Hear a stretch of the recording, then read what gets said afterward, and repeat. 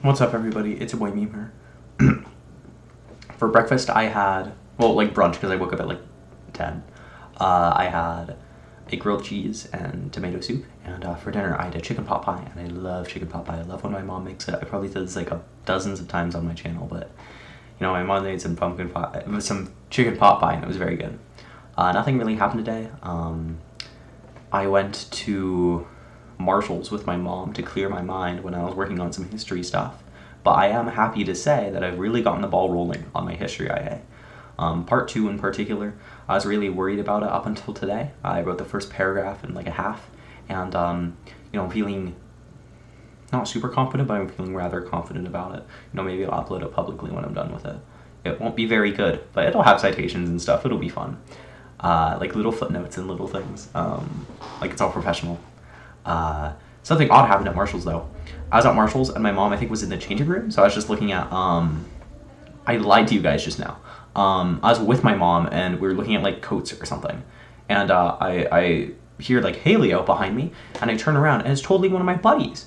And uh, you know, I don't know, I don't know why she's there. I'm like, why, why are you here? And she's like, oh, I work here. And I was like, that's crazy. That's crazy that you work at Marshalls. Um, like this is just crazy. It was just unexpected. I saw a friend. Um, At that Marshalls though, I found a very nice Eddie Bauer workwear. Like it kind of looked like a um like a Carhartt like Chicago jacket. Um, and it had YKK zippers, and it was really nice. It had this nice like fleece lining and like a hundred percent cotton outer layer. It was really interesting looking. Uh, but I decided not to get it because it was like a little. It was like like forty bucks, and um, I don't think I would wear it that often. But it looked very high quality, especially for somewhere like Marshalls.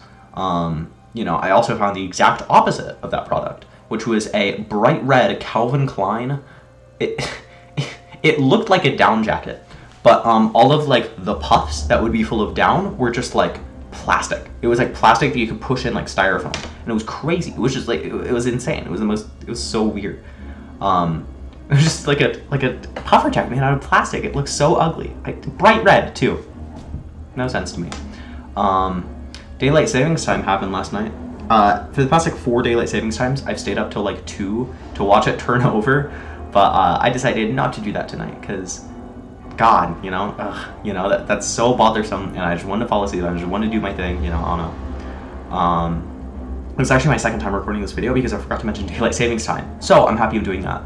But one thing you missed last episode, one thing you'll miss by me uploading this video instead of the other one, is uh, at the very end of my video, Steve Lacy started playing because my parents um, they still watch SNL for some reason. And uh, the musical guest, who is Steve Lacy, just came on. I was like, "That's crazy!" And I was like, "Who? Isn't that um? Isn't that Steve Lacy?" And I looked up. I wish I knew you wanted me because that was the song he was playing.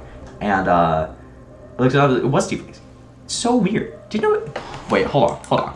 Let me look this up before I say it.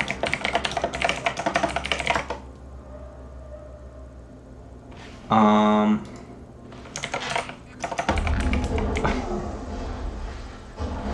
Yeah, I don't know. I don't know. Yeah, alright, see you dude.